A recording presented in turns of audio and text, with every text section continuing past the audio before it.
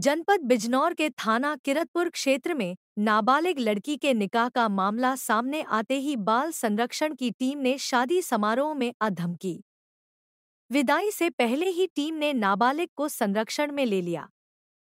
सोमवार को किरतपुर के मोहल्ला अंसारियान में एक घर में निकाह की रस्म अदा की जा रही थी। दुल्हन के नाबालिग होने की सूचना पर बाल संरक्षण अधिकारी रूबी गुप्ता ने घर में छापा मारा।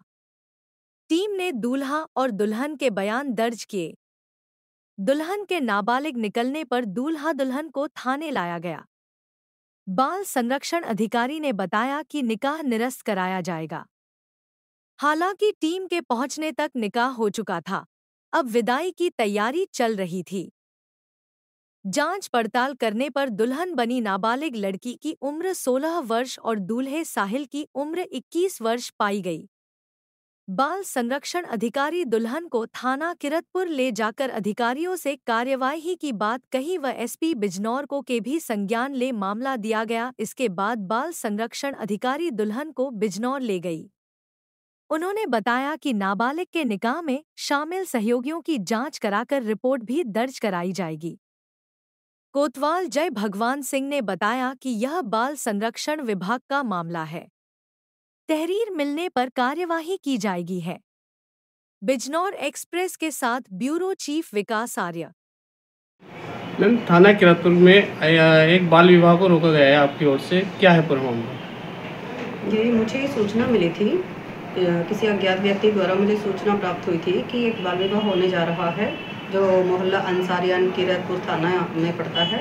तो हमारी अपनी एक टीम है जिसमें ए थाना प्रभारी और कांस्टेबल और चाइल्ड हेल्पलाइन से अनिल और सीमा और मैं बाल संरक्षण अधिकारी। हम सब लोग मिलकर जब वहाँ पर पहुँचे थे, थाना किरतपुर से हमने कुछ पुलिस फोर्स ली थी और जब हम मौके पे पहुँचे तो वहाँ पर वो मामला सही पाया गया। जिसमें लड़की का बाल विवाह निकाह तो हो गया था। विदाई की तैयारी चल रही थी। तो हमने लड़की से बात की और पता लगा कि उसका बाल विवाह कराया जा रहा है।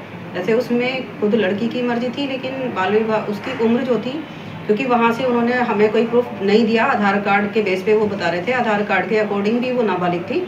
फिर हमने सरकारी स्कूल से उसका एक प्रमाण पत्र निकलवाया, जिसमें उसकी आयु सोलह वर्ष कुछ माह थी। तो लड़की उसमें नाबालिग थी, जिसके लिए हमने लड़के और लड़की को दोनों का रेस्क्यू किया, दोनों को थाना किरतपुर लेकर गए। और किरतपुर से लड़की का रेस्क्यू करके वन स्टॉप सेंटर में हमने सुरक्षित कराया गया है। और इसके लिए मामला पंजीकृत करने की बात की गई थी तो उसमें उस टाइम में पंजीकृत नहीं हुआ था लेकिन इसके लिए एसपी को एक लेटर दे दिया गया है। तो अभी इसके अलावा किसी और के ऊपर भी कार्रवाई की बात चल रही है? इसमें जो मौलाना है जो मौलाना है उनके ऊपर इसमें कार्रवाई होनी चाहिए जो हमने बोला था थाने में कि निकाह की उम्र जब मालूम है तो वो निकाह ऐसा क्यों पढ़ा रहे पढ़वा रहे हैं? दूसरा इसमें एक वार्ड मेंबर थे, जिन्होंने अपनी ज़िम्मेदारी ली थी कि आप निकाह कराइए, बाकी सारी ज़िम्मेदारी मेरी है। तो इसमें माता पिता के ऊपर भी कार्रवाई होनी चाहिए दोनों, माता मतलब लड़की और लड़के के और बाकी मौलाना जी हैं और वार्ड मेंबर हैं। इनके इनके खिलाफ कार्रवाई होनी चाहिए कि सारा पता होने के बाद भी ये अपनी ज़िम्मेदारी लेकर और कार्य करा रहे थे। इस पूरे मामले में माता पिता की ओर से कोई प्रतिक्रिया आप लोगों के पास आई है?